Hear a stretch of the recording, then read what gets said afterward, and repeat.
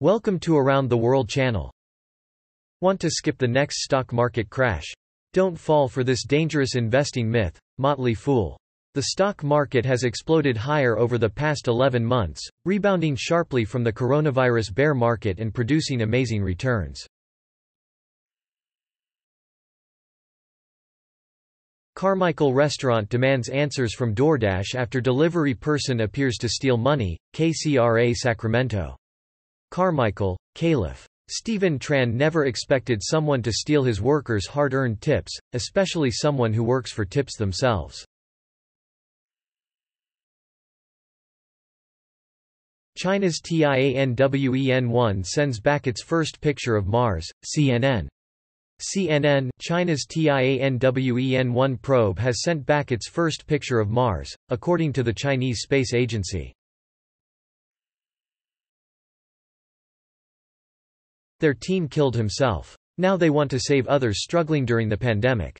NBC News. Chris Buckner was in his car, racing to try to get to his son, Dylan, before the 18-year-old killed himself. It was just after 3 p.m. on January 7, and friends had alerted Dylan's parents that he might.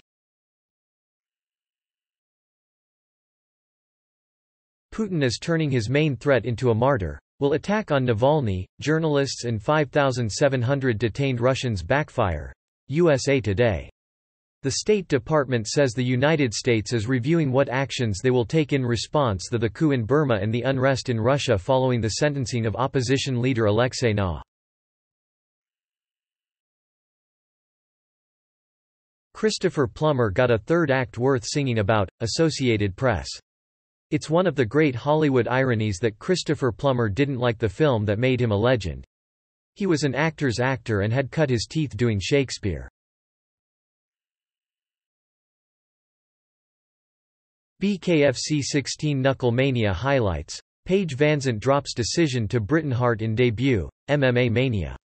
Former UFC star Paige VanZant turned in her MMA gloves for a bare-knuckle boxing debut last night, Friday, February 5, 2021, at BKFC 16. KnuckleMania live on fight.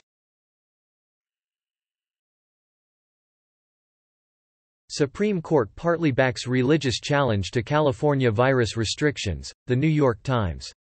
Judge Kim McLean Wardlaw, writing for the panel, said the church had not met its burden for obtaining an injunction.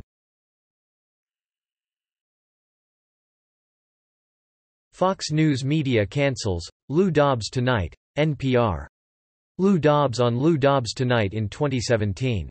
After over a decade with Fox, his show was canceled Friday. Alex Brandon AP Lou Dobbs Tonight on Fox Business Network was canceled Friday. What's next for Morgan Wallen? The country music industry considers his future, and its own, Yahoo Entertainment.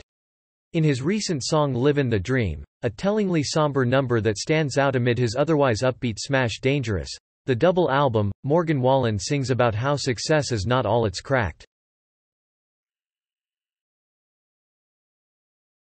Please, like this video and subscribe to the channel if you want to stay tuned for upcoming news.